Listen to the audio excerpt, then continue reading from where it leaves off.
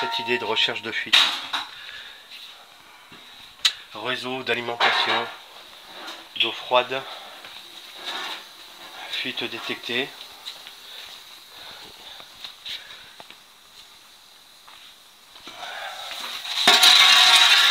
Et on va voir, on a ouvert un carreau. Et puis la fuite elle se trouve juste ici, on va la voir si on peut. Voilà.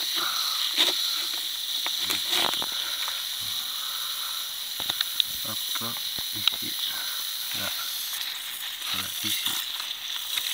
C'est dur hein, de montrer. Là. Mmh. Sur le côté. Et puis on l'a bouché avec le doigt et on n'entend plus la fuite. On a testé au gaz et à l'écoute. Et puis à titre gratuit, on a ouvert un accord avec le client pour le confirmer à 100%. Diagnostic exact. Cette idée. Ne pas confondre avec d'autres. Hein.